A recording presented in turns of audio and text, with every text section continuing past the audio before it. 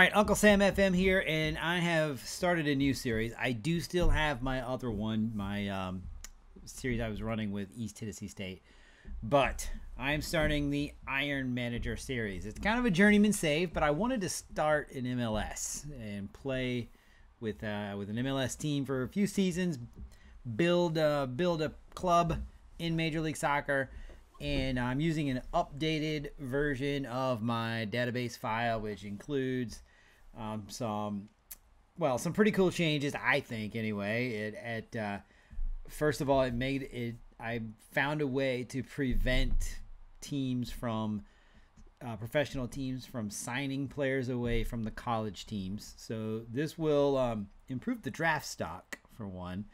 Uh, it also it's just more realistic, right? Because you don't have USL championship teams signing players away from college. That's just not how it works in real life. So that was a big um, a big change that I was able to make. Also, goofy stuff like graphics are all up to date now um, from uh, from previous versions of the database file.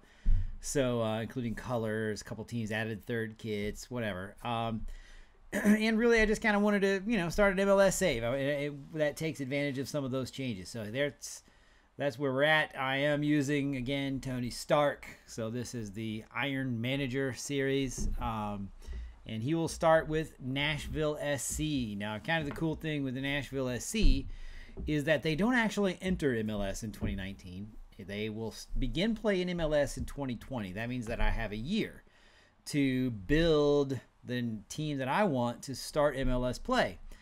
But with my database file, I have added the USL Championship, which is where Nashville plays, and it is a real life format. Um, same teams that were in USL in 2019. so um, get a chance to get a look at some of the guys that were on the squad at the beginning of the save, beginning of the actual game, and decide if I, you know, want to um, keep those players or um, maybe make some changes. So, um, with that said, here I am at the opening screen. Nashville SC appointing, you know, naming, uh, announcing Tony Stark as the uh, the new manager. Um, we'll kind of just go through this. so, beginning, um, they start play at Nissan Stadium. That's where they will play in MLS. Now it says that I, I, have set it up in my database to where actually the first season I'll be playing in, in a baseball stadium called First Tennessee Park, which was that's real life. Um, then my first year in MLS, I will play Nissan Stadium before moving to the uh, Nashville, the stadium that Nashville SC is building in real life. I believe it'll open up in 2022, I think. Um, so, but this here we get a, get a look a little bit at some of the uh, history of the team, founded in 2017. Uh, actually, be the the the Nashville Soccer Club. Uh, there was a Nashville FC that started, I think, back in 2014. Um, with some uh, local fans actually started the team. It's kind of a cool story, and maybe we'll I'll go into it a little bit uh, in at some point during the save. But uh, the Nashville Metros shut down. They were played in the lower levels of U.S. soccer, and uh, a group of fans got together and said, "Hey, let's let's have a fan. Let's let's get a fan movement going to start a team." They started the Nashville FC, um, and now that team has grown. Which it started at really kind of at the bottom, and now it's grown to to the point where they were granted their own MLS franchise. Um, so we'll move on to the next. says uh, this is a look at my team, uh, and by the way, this is the default um, team that you get when you start a game. I didn't make any changes to the squad. Um, some of these guys I recognize. Lovitz. Nashville SC got Daniel Lovitz. Right, he is a national team player. He's got yeah eight caps. So that'll, you know, we'll, we'll dive into the squad as we move forward. Does say I'm fairly determined. I have a hot prospect of Derrick Jones. We'll look at all these guys. Um, David Accam, of course, is the key player. Um, five-year plan: work within the payroll budget. Uh, they want me to reach the round of 16 this year in the Open Cup. That's a big ask because I technically this year I'm a USL Championship team. I'm not an MLS team, and there are 24 teams in MLS. Um, so that means I would have to get further than at least nine MLS teams. USL Championship regular season. They want me to win the USL Championship regular season. They want me to. They want me to win the league at the end of this season. Um, and they're not looking beyond 2020, so I'll accept that. So here's a look at the squad that I have so far. Um, I've sorted it by my assistant's opinion of their, or my scout's opinion of their uh, current ability. Um, Mukhtar looks pretty good. Um, you know, determination is not overwhelmingly high, but uh, I'd say that's, you know, the rest of his attributes are. Uh, he got a high technique, good first touch, um, decent dribbler. You know, for, for MLS, these are pretty good ratings for most of these attributes, so we'll take that. Um, he's only 23 years old. He is, uh, his contract, um, he is, I'm not sure, I don't think he's occupying a DP. It's hard to tell because USL contracts are different than uh, MLS. Oh, he is. Yeah, so he is occupying a DP slot, which is fine. Um, good player. Dax McCarty, he's a uh, MLS journeyman. You can tell from his career stats. He started FC Dallas way back in 06. And he's, you know, he's a good, solid player. Um, high determination, you know, a pretty good work rate, and that's kind of how I would describe McCarty in real life. He, you know, he's a good. Um, he does the dirty work in the midfield, um, so he's, you know, he's he's solid, which is good. I, I, I feel good about the the spine of this team. Um, with McCarty, with Mukhtar, with McCarty, uh, Godoy, who is a Panamanian central midfielder, uh, you know, decent tackler. He'll probably play my number six position, uh, or I could move him up to the eight if I need to. Maybe let McCarty play the six. Um, McCarty's tackling is only a 13, but you know what? That determination, you know, makes that a better rate, you know, than the number would indicate.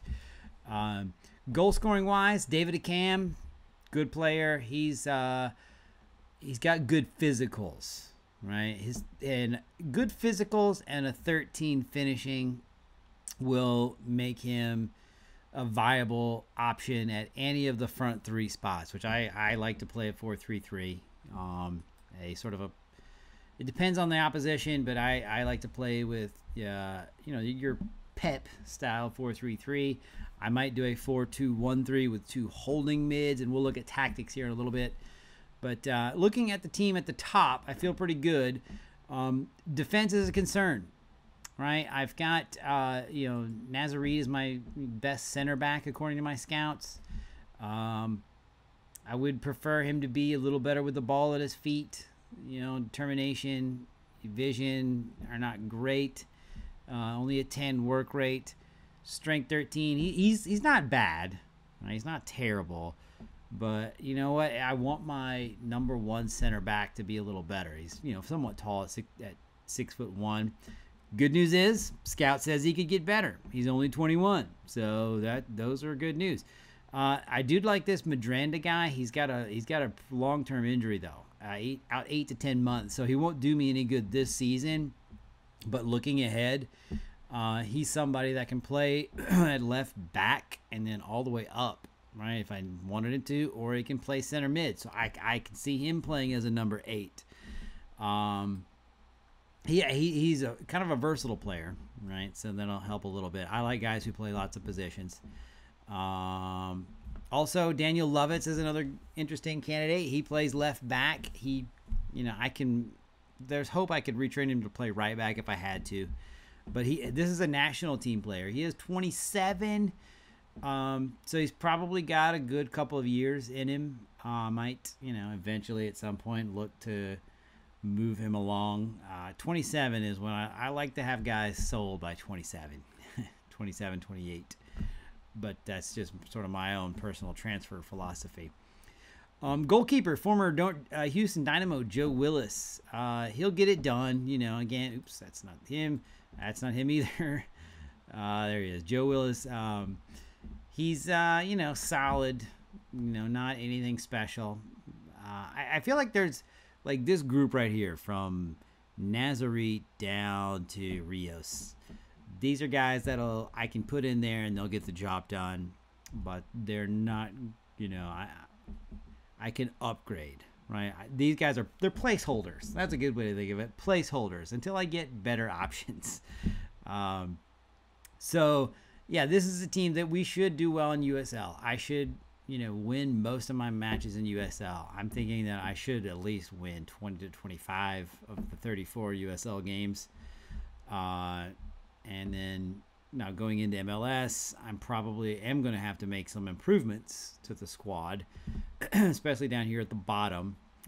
Uh, you know, the potential wise, this uh, Jack uh, Maher, he's you know relatively high potential uh, he is an American, which is good. That means he's a domestic player. He's not going to eat up one of my international slots. He's got very high determination. I need to get his work rate up. Teamwork needs to get better.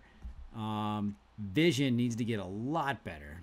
I know for a center back, that's not always a big, whatever uh, attribute that you need. But I like my guys to be able to, my center backs to be able to play with the ball. Um, and right now, I can't trust him to to pass the ball to the goalkeeper. Forget about passing it up to the you know midfield or bypassing the midfield to the wing. So, um, but you know, there's at least some hope there. I don't know how what your guys experience. I've never had a player with a one vision at any position, so I can't imagine. I don't know how difficult that's going to be to whatever to improve. Um, other uh, potential guys, I do kind of like the look of this Daniel Rios. My scout is telling me that he that he's as good as he's gonna get. Um, so, you know, maybe a lost cause, but it, he's only 23, uh, but he's got a 14 finishing, which you know for the number nine position, that's you, you want him to be the guy that scores goals. Uh, and then obviously Leal, he's the Costa Rican. Uh, Nashville, um, where do they bring him in from? Doesn't even say. Where is his career stats? Brought him in from Saprissa, right? So that's a big club in Costa Rica. He's got, um, you know, he's got some good attributes for a guy who can play at either of the wing positions in my 4-3-3. Um, very good passing, right? So that's encouraging. So that's look at the squad. I, you know, a lot of times on these series, these this is that's kind of the most boring thing. Uh, oh, Beckeles and I'm sure I'm mispronouncing some of these. He's 33 years old, but he will definitely help get me through this year and maybe next year right back. So uh, yeah, good squad. I, I feel good about it at least for this season. definitely gonna have to make some improvements before we move into MLS. So here's a quick look at the tactics I plan on employing with Nashville SC. I'm, you know, like everybody else, I do like a version of tiki taka. Um, of course, a lot of people this year they've gone with the gegenpress, and it obviously works. I think gegenpress might be the most effective style in the game, but I sort of base the way my teams play in FM on how I kind of coach my real life teams, and this no exception. Um, I, I've kind of gone to whatever this style of play, and it's you know high press, keep the ball. Um, I, I, try to recreate ball circulation, um, how the teams attack certain zones, all of that. Obviously, in FM, it's not you can't. It's different. It's you can't really do it in FM the way you do it in real life. But this is, I feel like the closest I've been able to to whatever get to that. And so obviously it's you know it's a four three three. Uh, the fullbacks are pushed up into the wingback strata, and then I'm doing my midfield triangle here with a six, an eight, and a ten. Two wingers, a striker, and I've tried to balance as much as possible you know, the way the teams play or the way the players uh, interact with each other. Got uh, wingbacks. I've got one on support, one on defend, but obviously the one on defend he's a wing back, so he's going to get forward, especially when when the winger cuts in, which happens when you when he pushes into the final third. Then on the right, I've got a wing back on support, so he'll get forward a little more. Uh, on the left, I've got my the you know, you've got the ten there, so he is going to kind of occupy a lot of this space. So uh, this is to me, one of the more entertaining styles of play in FM. Uh, I don't do a lot of individual instructions, but there are some. One thing I do like to do, I like to have a, I like to have a defensive triangle. So guy in FM. So these are the, and clearly it's you know the six and the two center backs, right? So what I have them do is close down less, right? And so what happens is they don't go rushing out of position. They kind of hold their spot. So you've got that defensive triangle in the very back. And for me, in my experience, it she it uh, I say she. I don't know why I said she. Well, hey, I'm a guy, right? We're always thinking about chicks. He so the midfield triangle, in my experience, prevents when you when you have them closing down less, not rushing out of position you got that solid, uh, whatever group of players who you're making them execute, right? Well, you keep space tightened up, right? You're not giving the attackers open space. So by reducing that space, it makes it harder on the, on the other team's attack. So just in my experience in FM, going all the way back to like FM 05, if you've got that midfield triangle, not midfield, defensive triangle, then the number of chances the other team is able to produce is is less, right? So uh, that's um, that's what I've always done. Still do it. Still seems to work, right? So uh, those are one, you know, and then I also have guys closing down more. I have them passing shorter, right? Because we're trying to keep possession. I do let my number eight pass a little more direct so that the idea is he can spread the ball around. He's kind of a deep lying playmaker and so that's a couple of other uh, formations that I use. I've got one formation, and so this is this is sort of my base tactic, right? The four three three. If they come at me with a single striker, and then this is what I use, the this four three three. If I'm playing against a team who plays with like a four, like a diamond. So a, a number 10, an attacking center mid, and two strikers. I go with this formation and this is a 4-3-3 where with the defense with the midfield triangle flipped upside down right? So that the number eight drops back to the defensive mid strata as you can see right here. And then the number 10 is, is moves to the middle. So the, kind of my reason behind this is i want to outnumber that attacking trio. It, right? So you get two strikers and an attacking mid. Now i've got four guys back there. Obviously for defensive purposes but then also they can knock the ball around between themselves a leisure. We can build up a little better. They're not under as much pressure. Somebody is going to kind of be open. That's sort of the idea, right? So that's I use that against any formation with a center mid, with a center attacking mid, and two strikers. And then I've got this is a version of the three four three. Obviously, it looks just like the four three three. But what happens is the center back, or the sorry, the number six, the half is a halfback, so he drops back with the two central defenders. And I use this whenever I'm playing against a team that has two strikers but no attacking center mid. So like a flat four four two, right, or three five two. This is this is what I'll use. Um, and the idea there is, so I've got three players defending against their striking pair. And this is these are the players that I've used. We'll go look at the squad so that you can see who. Again, this is preliminary. Uh, I've got uh, Willis, my starting goalkeeper. My two center backs are Nazarit and Anibaba. Although the truth is, um, where is he? Uh, Romney will. That's kind of. I've got three guys that will play that two man back role. Honestly, Anibaba. Uh, he is just kind of a. Uh, I'm trying him out, right? Like I like his uh, tackling and his defending a little better, uh, especially his physicals. But if he, if I see that he is not going to work out there, then I'm going to Romney's going to move right in, and Anibaba is, is about depth. Beckeles at right back looks good. Obviously, he's a little older. I need to replace him immediately.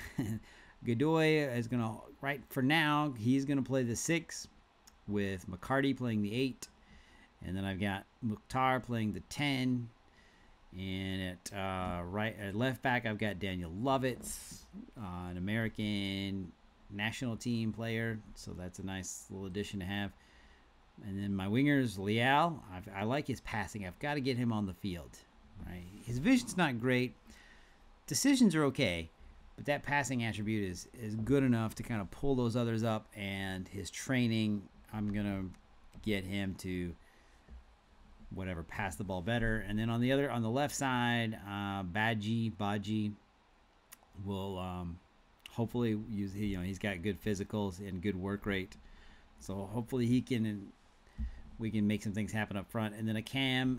Uh, I'm playing. I'm gonna play him as my center striker. He's got you know his his physical. That 17 is really good, and that 14 dribbling, uh, and he does have a higher finishing than the two wingers. So I'm gonna put him there for now. Although I might end up playing Danladi at striker. The only problem really with him is that 12 finishing is kind of low for a striker.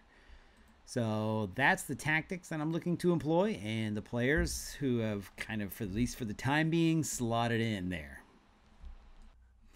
All right, so a quick look at the training that I do. I um, have kind of a system.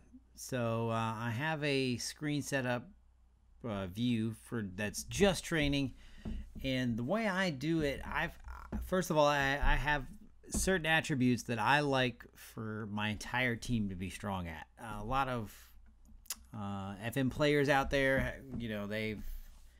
This is not anything that I invented.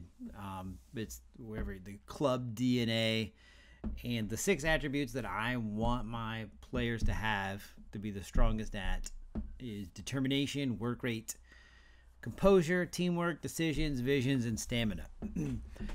each one for a reason. I, I obviously with the way we play, we want to press. You know, we want to we want to press high up the pitch, which means hey, we are going to be working hard in defense. So we're not going to sit back. We're going to be aggressive. We're going to push the envelope, whatever cliche you want to attach to it. So they need to have a high work rate and they need to be have high stamina, right? Because they're going to be running all over the pitch pretty much any time that we don't have the ball.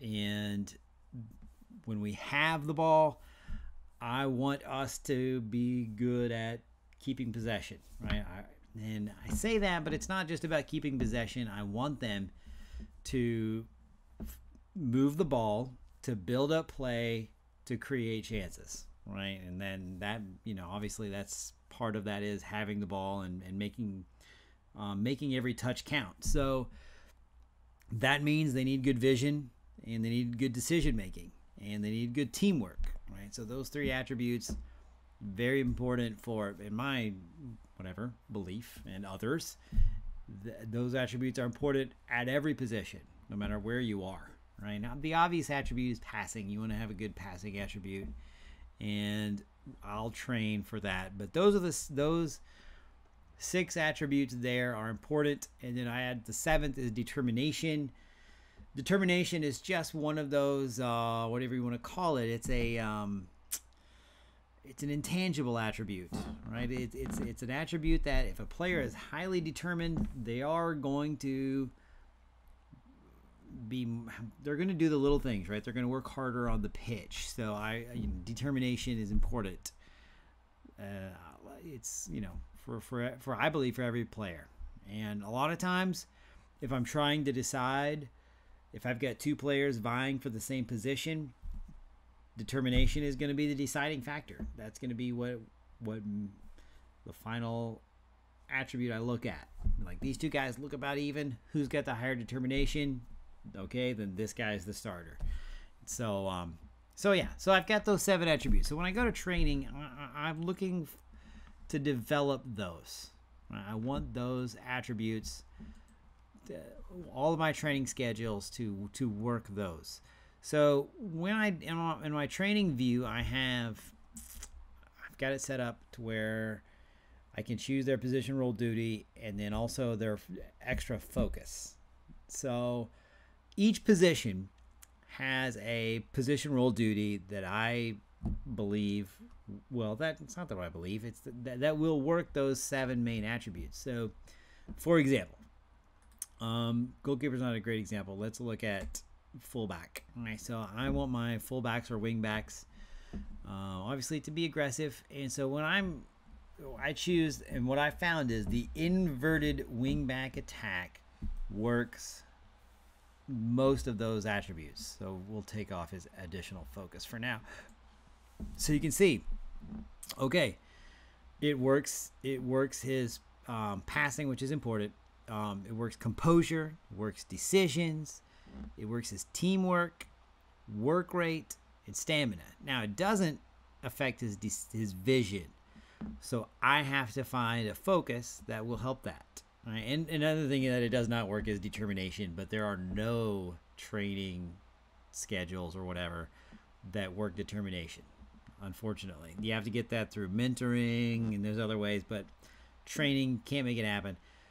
Inverted wingback though allows me to work the most of those, and I can I can train vision by adding the passing focus. Right, so now it's working as vision while also hey bonus working passing attribute and technique. Okay, another uh, position that uh, you know just whatever throwing it out there. Uh, um, Anunga. He uh, he I've got him training at the number six. So I choose the uh, deep lying playmaker, defend, and we'll take off the endurance for now. And you can see works his vision, works decisions, passing part is you know obviously that's not one that I, uh, stamina does not right. So I've got to find something to work his stamina. That's why I had it on endurance. That will work on his stamina, right? So so that's what I do with every position. I've got I, have got those the club DNA uh, attributes. I, you know, I want my club to be the strongest in the league at those seven overall, and so I've all of these training setups for each player. Each individual player is meant to work each of those. Right. So striker, false nine on support with endurance. Wingers, advanced playmaker, endurance. Um, attacking mids, the Carrilero works all it works everything. I don't even have to for the Carrilero. I don't have to work any extra attributes. So what I do is I choose, I let them work on corners so that he can deliver my corner, and hopefully we get some uh, we get some you know improve improve his corner attribute well enough to where we get some goals there, right? So so that's what I do with training as far as my team um, schedules. Um, I you know don't do anything fancy there. I it's pretty standard. You know, during the preseason, I'm working physical and tactical. I Want to get them ready to play, right? Ready to hit the ground running on day one. Uh, early season training, kind of. I'm looking at um, technique, right? So I'm working there. You know attacking te- and defending techniques. I do sprinkle in some some tactical stuff. Uh, and then once I get into the season, um, through the early part of the season, I start working on your more whatever nuanced um, ta- technique. I said te- technique. Tactical is what I work on in the early season. Technique is what I work on throughout the year, uh, and I've got different schedules for it. I don't do anything like the stuff you can get from you can download is probably better. And actually you can just let the assistant do it it'll be do as well. I i whatever. I i like to mess with every little component in the game. So that's one of the things that i do there. So i think that'll kind of set us up. I've got some things i've got to do. Uh, i've got to get some staff right? I've got uh, i need to get ahead of youth development need to find it i don't think i'm going to get a technical director but i do need to get some scouts i need a data analyst and head of sports science and a sports scientist. So that'll be priority. Need to get my scouting in place. Uh, in a future episode, we'll look at that. Uh, I, I got to schedule some friendlies. I don't believe I even have. Uh, yeah, I don't have. I've only got one friendly scheduled against my two squad. And then I am playing in the preseason tournament in the ATX Pro Challenge. Uh, I'll start against Atlanta United in the semifinal. It's a one-off competition. There is a third place game, so even if I lose, I'll have I'll, I'm guaranteed in a second game.